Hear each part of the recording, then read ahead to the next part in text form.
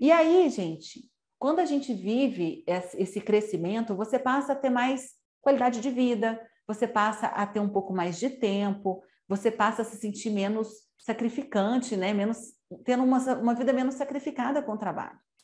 Mas a gente sabe que não é bem aí que a gente quer chegar. Porque o médico, ele quer chegar num ponto do trabalho onde a competência dele não é mais questionada, onde ele atrai pacientes buscando exatamente o que ele tem para dizer, e os pacientes aceitam as indicações e tratamentos com mais facilidade, porque eles reconhecem ali um profissional de extrema confiança. Quando você trilha essa caminhada e você passa a ser uma referência, a vida flui mais fácil.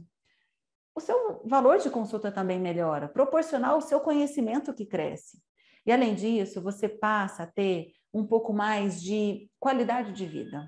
Porque tendo uma consulta num valor mais justo, proporcional ao seu conhecimento, anos de dedicação, você consegue tirar tempos para estudar e tempo também para administrar todas as outras funções importantes para o sucesso. Então, entende por que, que trabalhar nossa autoridade médica é fundamental para o nosso crescimento?